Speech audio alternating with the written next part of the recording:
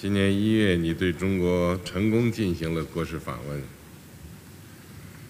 我们一致决定将中乌关系提升为新时代全天候全面战略伙伴关系，在更高起点上构建中乌命运共同体，两国关系发展进入了新阶段。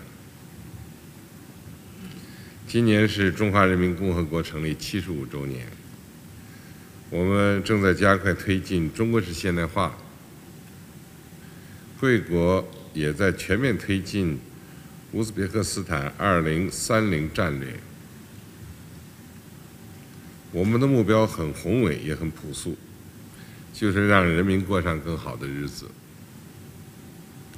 我们愿同乌方一道，以国家命运为怀。以人民福祉为念，推动中乌关系高质量发展。我愿重申，中方坚定支持乌方维护国家独立、主权、安全，永远是乌方值得信赖的朋友和伙伴。